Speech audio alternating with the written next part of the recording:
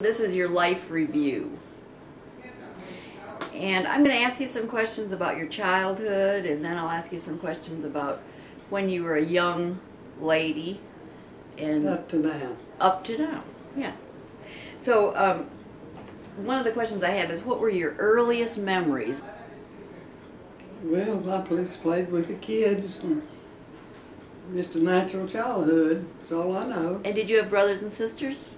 Oh yeah, I had three brothers and one sister.